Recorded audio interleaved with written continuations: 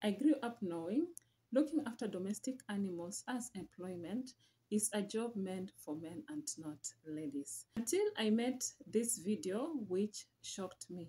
Does it mean that time is changing, or are we fulfilling a phrase that says, What a man can do, a woman can do better?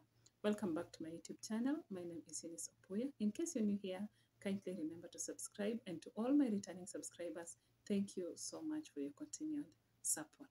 This is a video of a Ugandan lady who is employed in one of the Gulf countries to look after domestic animals. I cannot say that is something new to ladies. No, it has been there for ages. But what I know is that if you find a lady look if you find a lady doing this job, it, it is either uh, the animals belongs to the father or the husband or it is for the family. But I have never come across a lady employed to do that thing. Even back in our country, when somebody wants someone to look after their domestic animals, uh, they prefer men. That's why we have herdsmen, but I've never heard of a herds women. Or does it mean that we have more ladies outside there employed to do- do the same job? It's only that they have never been to limelight. It is a question that I'm asking myself today. Look at what she does.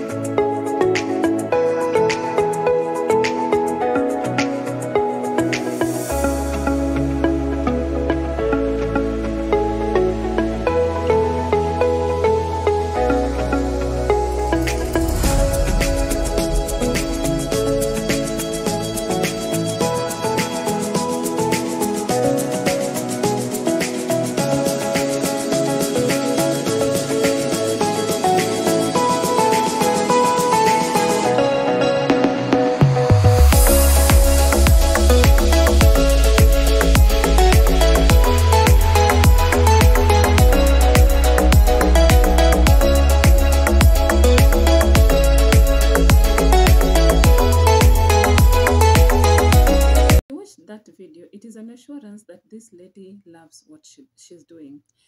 From the way she interacts with these animals to how she feeds them, how she plays around with them, inakuonyesha kwamba kabisa anapenda kazi yenye anaifanya.